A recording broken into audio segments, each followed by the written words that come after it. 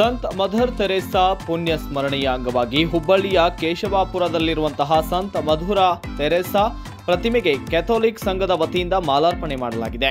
ಈ ಸಂದರ್ಭದಲ್ಲಿ Thailand open karate do championship two thousand twenty two ಕಂಚಿನ ಪದಕ ಪಡೆದು ವಿಜೇತರಾದಂತಹ ಶ್ರೇಯಾ ಚಲವಾದಿಯವರಿಗೆ ನಮ್ಮ ಸಂಘದಿಂದ ನಗದು ಕಿರು ಕಾಣಿಕೆಯನ್ನು ನೀಡಿ ಸನ್ಮಾನಿಸಲಾಗಿದೆ.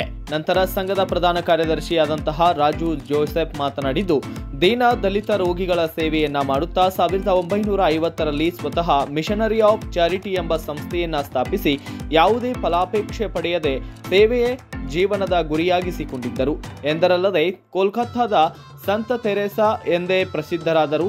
ಕುಷ್ಠರೋಗಿಗಳ ಸೇವೆಗಾಗಿ ಪ್ರೇಮ ನಿವಾಸ ಭವನ, ಅನಾಥ ಮಕ್ಕಳಿಗಾಗಿ ನಿರ್ಮಲ ಶಿಶು ಭವನ ಸಂಸ್ಥೆಗಳನ್ನು ಸ್ಥಾಪಿಸಿ ಎಲ್ಲರ ಪ್ರೀತಿಯನ್ನ ಸಂಪಾದಿಸಿದ ಮಾತೃ ಹೃದಯ ದಯೆ ಪ್ರತಿರೂಪ ಅಂತಹ ನಕ್ಷತ್ರ ಮತ್ತು ನಮ್ಮ ದೇಶದಲ್ಲಿಯೇ ಜನರಿಗೆ ಸೇವೆಯನ್ನು ಸಲ್ಲಿಸಿ ಅಮರರಾಗಿರುವುದು ನಮ್ಮ ಪುಣ್ಯ ಎನ್ನಬಹುದು.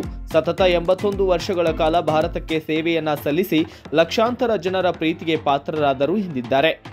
ಈ ಸಂದರ್ಭದಲ್ಲಿ ಸಂಘದ ಅಧ್ಯಕ್ಷ ಆಂಥೋನಿ ಫ್ರಾನ್ಸಿಸ್ ನಿತಿನ್ ಜೈನ್ ಮತ್ತು ಚಂದ್ರಕಾಂತ್ ಯಾದವ್ ಸೇರಿದಂತೆ ಇನ್ನಿತರರು ಭಾಗಿಯಾಗಿದ್ದರು.